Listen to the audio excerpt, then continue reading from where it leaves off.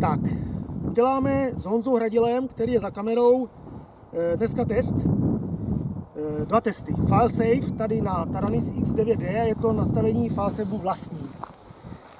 Mám všechno připravený, mám tam dva modely. Na jednom mám FileSafe tak, že při vypnutí vysílačky se mě křídílka lehce vychýlí tak, aby model zatáčel doleva a motor se samozřejmě deaktivuje, ano. To znamená, že já teďka udělám takový nálet do kolečka a jak už se budu blížit k našemu stanovišti, tak na kameru prostě vypnu vysílačku, vysílačka ani nic neřekne a potom uvidíte, že ještě letadlo pár metrů poletí a pak se začne rolovat, protože je bezvětří, do náklonu.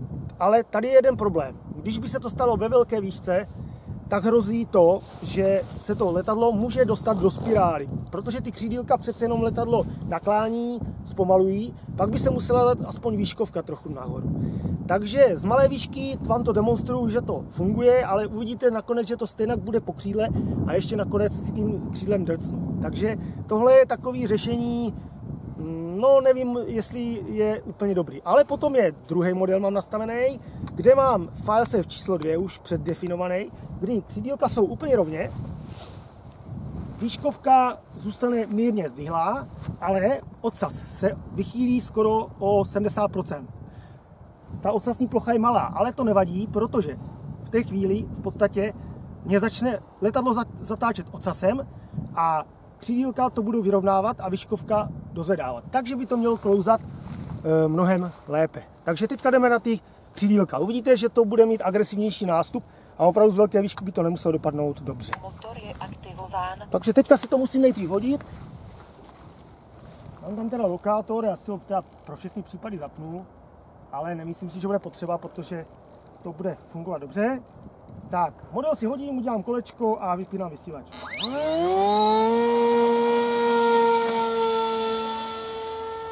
Tak, nepoletím ani moc daleko, aby to bylo vidět trošičku snad. Takže já udělám takhle kolečko. A teď vypínám vysílač.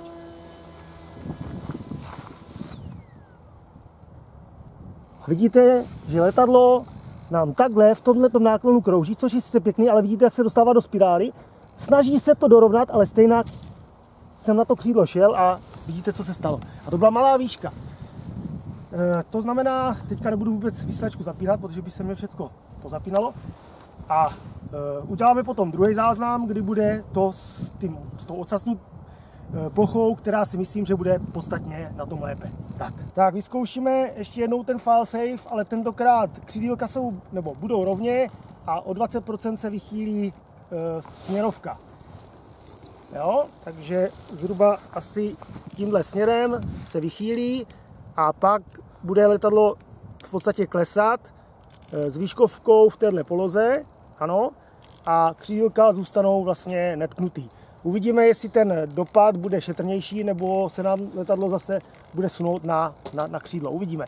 Každopádně tohle by mělo být šetrnější. Tak, já to zase hodím a musíme dokud ještě světlo. A jinak opět to bude tady na tomto prostoru.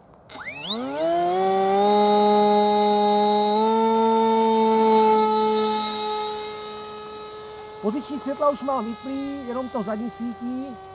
Uděláme rychlej nálet takhle.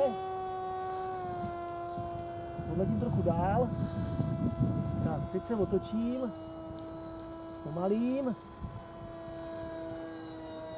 Ježišmarja. Nevadí, nevadí, nevadí.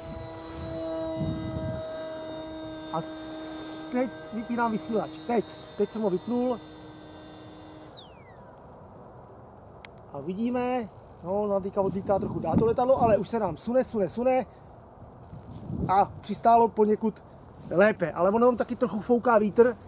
Nicméně teďka se nám letadlo nerozložilo, ale bylo vidět, jak ještě přesně předtím se lehce zhouplo a pak teprve dosedlo. Nicméně tohle to si myslím, že bude šetrnější.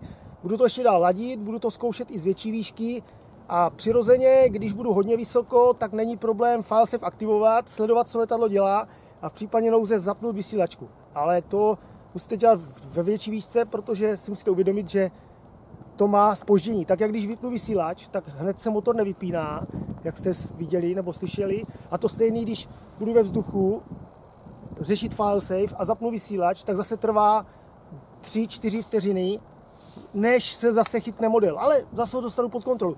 Takže teď si to pro letadlo, začíná nám pršet, trochu nám fouká, takže ten vítr do toho taky promlouvá, takže file save se dá použít bezpečně jenom v mírném vánku, jako je teď, nebo bez větří. Pokud byste to dělali e, za větru, tak vám ani file v tomhle tom nepomůže, protože to není koptera, která je stabilizovaná a prostě by vám to stejně ten vítr buď někam sfouknul, a nebo by to dopadlo špatně. Ale je lepší mít aspoň něco nastaveného, ať vám to nepadá prostě při ztrátě signálu tam, kde se zaseknou serva a tam, kde je plyn, to je pak problém.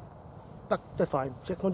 Předtím jsem letadlo rozhoupal, teďka ho nechám pěkně v klidu klouzat a uvidíme, jak to dopadne. Ještě dokud je světlo. Stále fouká mírný vítr.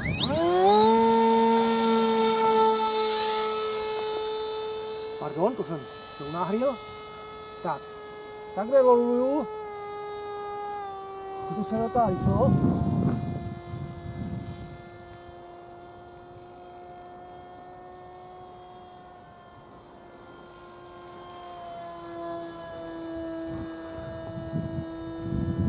Vypíla vysílačku.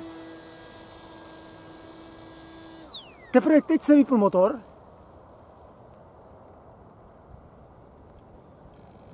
A takhle pomalu, krásně, zpomal, zpomal, zpomal. No a křídla zůstaly u sebe. Akorát... A předtím to bylo hezčí. No bylo to trochu hezčí.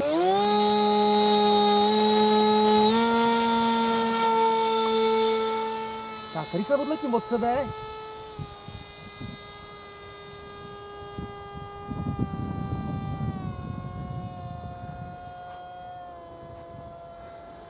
Tak, vypínám vysílač právě nyní. A furt letí, furt letí. Teď teprve se vypnul. Dobrý tři vteřiny. A teď se bude snažit letadlo tady nad náma v těchto eh, ocasem nasměrovaných pilotách přistát. A vidíte, že ani ta ocasní plocha, když je na těch 20%, tak ze začátku to jde mírně, pak to začíná zrychlovat a jestli do toho promlouvá i ten mírný vánek, prostě pak vám to stejně na tu zem takhle jakoby přistane po křídle. Nicméně křídla, když máte takhle na volno, tak se vám takhle rozložej a vlastně aero zůstane naprosto v pořádku. Jediný, co se, tak se katapultuje pilot, ale to ničemu nevadí, protože to je tak udělané, aby to všechno eh, se rozložilo a nic se nepoškodilo. Ale pořád lepší mít failsafe, než když tam nemáte vůbec nic a přišli byste o letadlo definitivně. Takhle vezmu, nasunu křídla, zajistím novou skvělou páskou, dám pilota a letadlo je naprosto v pořádku. Tak. A to je všechno, přátelé. Jo, divím se, proč nejde stabilizace a ono je furt vypnutý aero. Nejsou ve výchozí poloze, motor je Jo, stabilizace jede. Takže eh, tím naše pokusy končí. Trošku hlíny. 0 decibelů, kritický signál. A furt. No, je na čase jít domů. Testů bylo dneska hodně. Kolikrát že jsme vypnuli tu vysílačku? Čtyřikrát dneska. Tak čtyřikrát jsme si dneska vypnuli vysílačku na tvrdo. Čtyřikrát šlo letadlo podobným způsobem dolů a vidíte, že je naprosto v pořádku. Opravdu se musí jenom přichytit ty křídla, protože jak dneska prší, tak ta páska už moc nedrží. Jo? A ani jsem nezapojoval osvětlení, protože e, vždycky potom, co se křídla vypojí, tak se vypojí krásně i osvětlení.